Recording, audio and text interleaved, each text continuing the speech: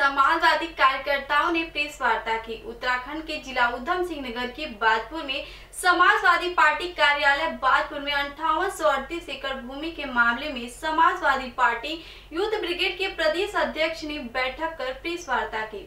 बता दें कि समाजवादी पार्टी कार्यालय पर यूथ ब्रिगेड के प्रदेश अध्यक्ष के नेतृत्व में कार्यकर्ताओं के साथ बैठक बुलाकर प्रेस वार्ता की गई। इस बैठक में बाजपुर के 20 गाँव की अंठावन एकड़ भूमि प्रकरण के मामले में 9 जून से भगत सिंह चौक पर श्रमिक धरना देने की रणनीति बनाई गई। यूथ ब्रिगेड के प्रदेश अध्यक्ष अरविंद यादव ने बताया कि विगत 13 फरवरी को तत्कालीन जिलाधिकारी नीरज खैरवाल द्वारा एक फरमान जारी किया गया था।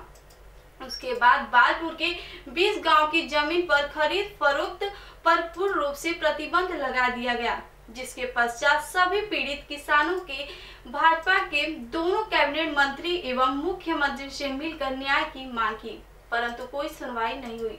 इस प्रकरण में 2 जुलाई को तत्कालीन मुख्यमंत्री त्रिवेंद्र सिंह रावत ने आदेश दिए कि आपकी ज़मीन मुक्त कर दी गई है। आपको बता दें कि मालिकाना हक दे दिया गया है, परंतु सारे वादे आज तक खोखले साबित हुए। समाजवादी पार्टी ने 20 गाँव एवं आधे शहर के पीड़ितों को न्याय दिलाने के लिए श्रमिक अनशन करने का फैसला लिया है।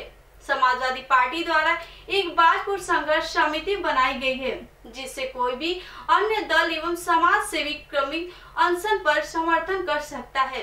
उन्होंने बताया कि 9 जून से भगत सिंह चौक पर श्रमिक अनशन किया जाएगा। सभी क्षेत्र वासियों से अपील है कि ये अनशन पूर्ण रूप से गैर राजनीतिक होगा। इसलिए सभी समाज सेवी अपना सहयोग प्रदान करें। देखिए, बाजपुर से मोहम्मद शहीद की रिपोर्ट। इसको जिलाधिकारी नीरज खैरवाल जी द्वारा, जो बाजपुर की अट्ठावन सौ अड़तीस की भूमि एकड़ है, उस पर खरीद और बेचने की रोक लगाई थी, जिसको लेकर समस्त सरकार के मंत्री, मुख्यमंत्री से लेकर लगातार आश्वासन दिया गया, लेकिन अभी तक हमारी भूमि मुक्त नहीं की गई है, जिसके लिए समाजवादी पार्टी कोविड के, जो लॉकडाउन के पश्चात 9 तारीख से कर्म कंसन करने जा रही है और ये कर्म कंसन तब तक चलेगा जब तक बाजपुर भूमि मुक्त नहीं कर दी जाएगी।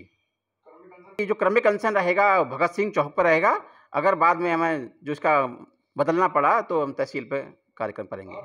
हमने ध्यान में रखते हुए एक बाजपुर संघर्ष समिति के नाम से बैनर लगाएँगे, जिसमें कोई भी राजनीतिक दल आकर हमारा सहयोग कर सकता है और बाजपुर में भूमि को बचाने का कार्य करेगा।